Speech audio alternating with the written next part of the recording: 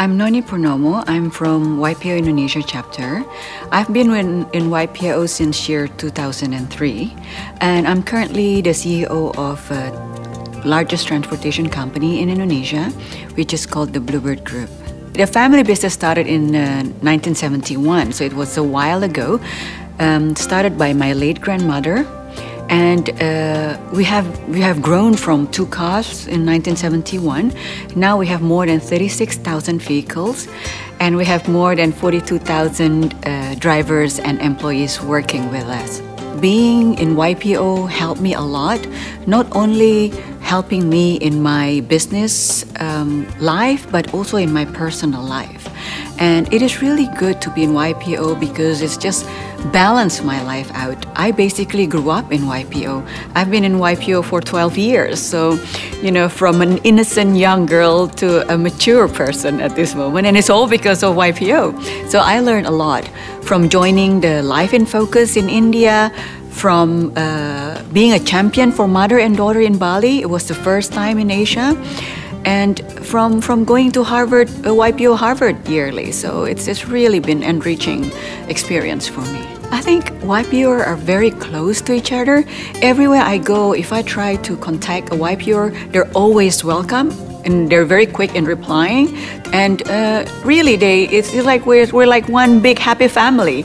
And that makes a huge difference. And i joined other type of organization and i don't feel the same way. I don't feel the same war- warmness. So that makes a huge difference. So everywhere i go i would have friends and i know that. Our business is built for purpose. My late grandmother uh, used to tell me that our responsibility now uh, to grow this business is not just for the shareholders uh, of the company, but our responsibility is for everybody who live and breathe within the company, including their family members. And that's why uh, we launched several things. So we include the family of our employees. We currently have more than 38,000 drivers and about 6,000 employees. Um, we only have, from the 38,000 drivers, we only have 100 female drivers. And most of our drivers are married. So then I saw this opportunity of giving empowerment, more empowerment for the women, because most of them, 99%, if, if I can say so, uh, they stay at home and do nothing. And by giving them the opportunity to work from home, it, it not only just help with the economy of the family, but that means that one or all of their children will receive better education. So we give scholarships to the children of our drivers. Every semester we're giving to about 2,300 students.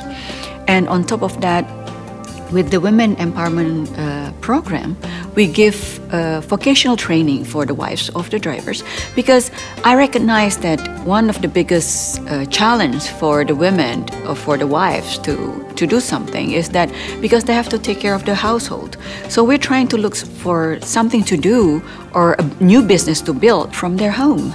I think uh, what is important for me is to encourage and motivate other women to reach their dream. It doesn't matter what their dreams are. Even being a, a housewife, I think it's a it's a very noble dream, as long as each single person do it wholeheartedly. And uh, the last thing we should do is to do something that we don't really want to do.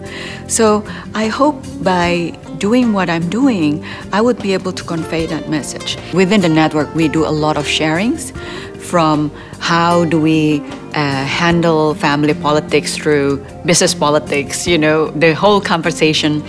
And through the sharing, I, I learned a lot.